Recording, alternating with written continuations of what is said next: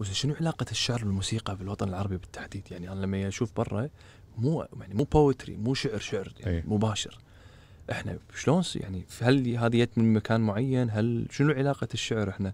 حتى يعني اليوم يمكن صار أقل هالشيء لكن في- الماضي الشعر متسيد على الم- الموسيقى نفسها يعني. هو الشعر مو متسيد على الموسيقى متسيد على كل شيء. والموسيقى جزء من هالأشياء هذه.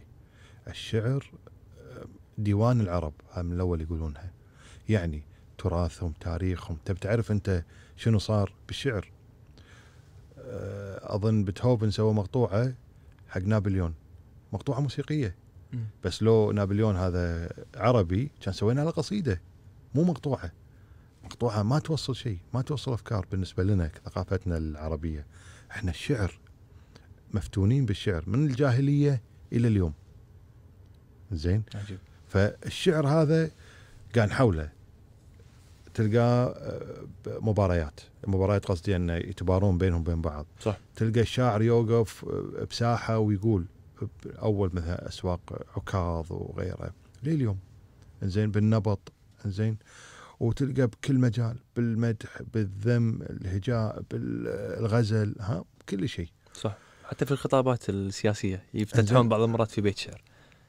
والاستشهادات الدينية أيضا تلقى وهو يستشهد بالدين وهذا يجيب لك بيت شعر.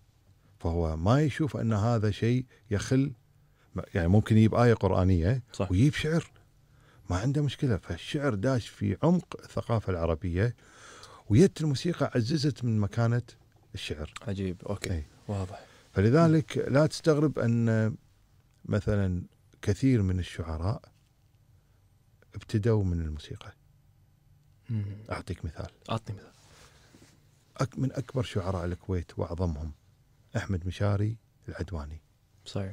اللي هو كتب آه، نشيد نشيد الوطن الوطن. نشيد الوطني وكتب أشياء يعني غنائية كثيرة وشاعر.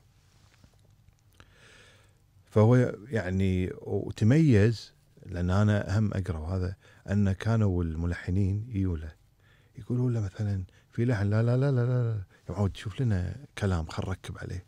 هو يسمع اللحن يدري أن هذا لازم يركب عليه هالقياس من الشعر البسيط مثلا.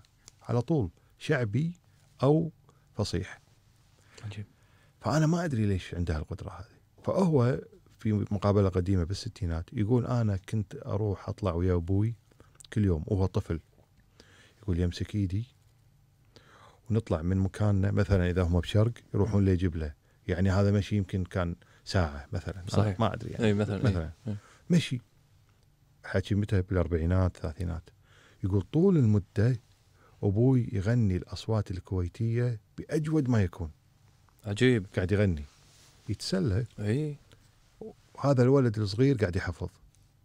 فهو قاعد يحفظ لحن ونص. زين. مع الوقت صار هذا المدخل أتصور كذي حق الشعر لأنه هو صار عنده كم من الشعر محفوظ بس كله شعر خلينا نقول غنائي. بس بعدين تجاوز صار شاعر. فلذلك آه، الشعر مهم جدا لدرجة أنه وظف كل شيء عشان هو يبرز. عجيب. عند العرب. عجيب. صبيت لك ماي دكتور؟ أنا ما صبيت لي ماي. بيره وين جلاسي أنا جلاسي موجود؟ لو سمحتي.